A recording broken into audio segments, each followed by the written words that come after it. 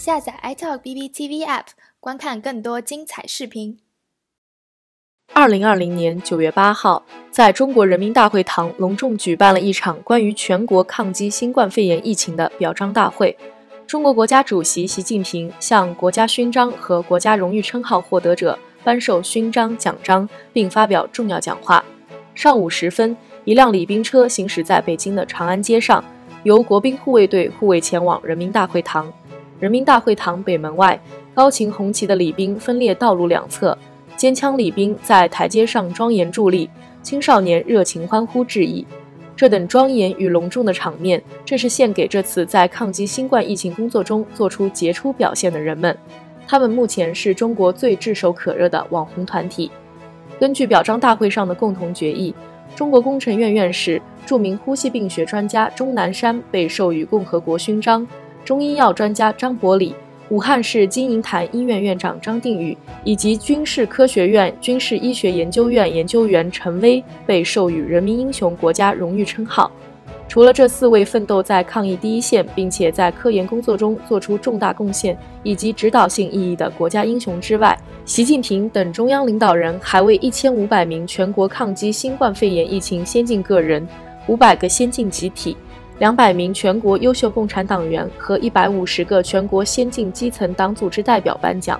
习近平在讲话中表示，新冠疫情是一九四九年来中国遭遇的传播速度最快、感染范围最广、防控难度最大的重大突发公共卫生事件。而中国用一个多月的时间初步遏制疫情蔓延势头，用两个月左右的时间将本土每日新增病例控制在个位数内。用三个月左右取得武汉保卫战、湖北保卫战的决定性成果，并且统筹推进疫情防控和经济社会发展。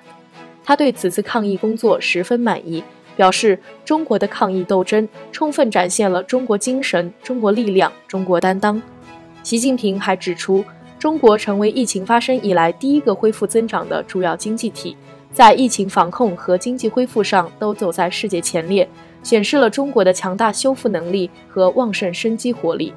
当然，众多外媒对此次抗议表彰大会的举办表现出了不同的看法。比如，某外媒评论员表示，这次庆功大会实际上是一次以歌功颂德来掩盖责任的宣传。还有的说，这是在美国大选前对于特朗普政府的一次施压。小编认为，不管这些外媒的质疑是有理有据也好，还是满怀妒忌也罢，在事实数字面前。中国的抗疫工作的确是全世界最优秀的那一个，这是任何国家都无法否认的事实。而为这次抗击疫情做出贡献的个人与集体，绝对值得表彰，值得让全国人民为其鼓掌。不过，此次表彰大会依然留有遗憾，那就是缺少了新冠疫情吹哨人李文亮的身影。虽然他已经在疫情初期不幸牺牲，但是他所做出的贡献是抗疫成功最为关键的要素。因为他为这场战斗取得了最重要的先决条件，那就是时间。不过，值得欣慰的是，细心的网友们发现了李文亮的缺席，纷纷在其微博等社交媒体上对其缅怀。现如今，李文亮医生最后一条微博的评论数已经超过了一百万，所有的留言无不都在向其致敬。